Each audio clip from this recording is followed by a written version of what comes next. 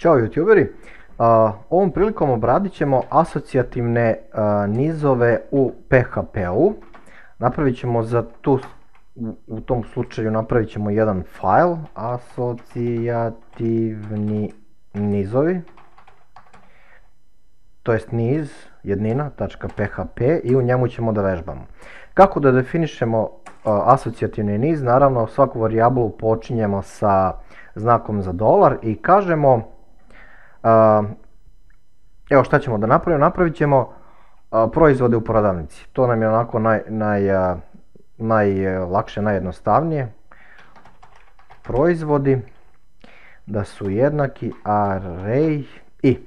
Znači kako pravimo asocijativni niz tako što definišemo levu i desnu stranu. Znači svaki element se sastoji od dva elementa ako se tako mogu izraziti, pri čemu je levi ključ, a desni je vrednost. Znači imamo key i imamo value. Na primjer, u jednoj prodavnici možemo da imamo pasulj, na primjer, i da tog pasulja, na primjer, ima 5 kg. Isto tako, možemo da imamo kafu i te kafe ima recimo a, 10 pakovanja. I na primjer imamo, otko znam, brašno i brašna imamo u prodavnici na primjer 500 pakovanja ili kilograma ili kako god. Nije ni bitno, poenta cijele priče je da se asocijativni niz definiše ovako. Znači imamo varijablu, standardno, znak jednakosti, array, znači u principu isto kao kod običnog niza, samo što imamo key i value ključ i vrednost, znači key i value, levu i desnu stranu. Naravno ja nisam stavio da je to PHP file i zato mi je syntax highlighting ovakav kakav jeste. Evo ga sad, sad je to dobro. e sad, postavlja se pitanje kako da za ovaj svaki element kako da ga isprintamo. Kako da isprintamo jedan par, to jest key value. Idemo ovako. Gdje sam? Eho. Pasulja imamo. Ukupno. I onda stavite varijablu. I unutar uglastih zagrada stavite key. Key u ovom slučaju je pasulj. Znači to je ključ po kome vadimo vrednost. U ovom slučaju to je pasulj, u ovom slučaju to je kafa.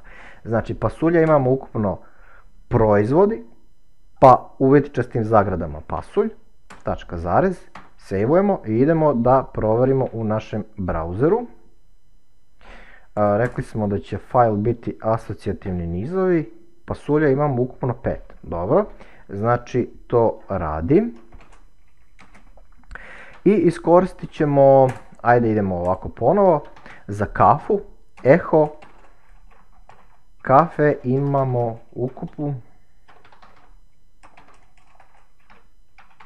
ukupno koliko, znači opet kucamo proizvodi, pošto je to zajednička karakteristika, to je jedna, te jedna varijabla. Proizvodi, vitičaste zagrade i key unutar stavljamo navodnika dvostrukih, kafa, udarimo tačku zarez, sejvujemo, refreshujemo, refresh, evo ga. Naravno zaboravio sam po običaju da stavim jedan break, ajde to ćemo da uradimo sada. I to bi trebalo da radi lepo.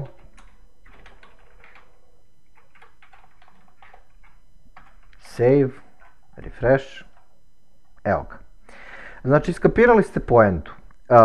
asocijativni niz koji se sastoji od ključa i vrednosti definišemo tako što uradimo varijablu, normalno pre svake varijable ide znak za dolar, pa znak jednakosti, pa array obavezno i onda u navodnicima definišete vaš key value parove. I ovaj znak, kako, kako da se izrazim, znači znak jednog postrelica u desno, to je kao smesti ovo desno u ovo levo, to jest pridruži ovo desno ovom, ovom levom. Ja to tako razmišljam na takav način o asocijativnim nizovima. I naravno, ovaj, možete da iskoristite ovu formu i za brašno, znači brašna, brašno imamo ukupno proizvodi brašno, sejvujemo, refreshujemo, to je to. Veoma, veoma jednostavno, a u sljedećoj e, lekciji obradit ćemo kako proći, to jest kako lupovati kroz asocijativni niz. Znači, e, ovo je najlakše da shvatite tako što asocijativni niz poredite sa onim običnim nizom. U običnom nizu imate samo jedan element, a ovdje imate dva podelementa. Znači, levi je ključ, desni je vrednost. Možete i na takav način da razmišljate ako vam je, ako vam je lakše da shvatite. dobro, šest minuta, ajde da, da ovaj, ne dužim pretjerano, vidimo se u sljedećem tutorialu.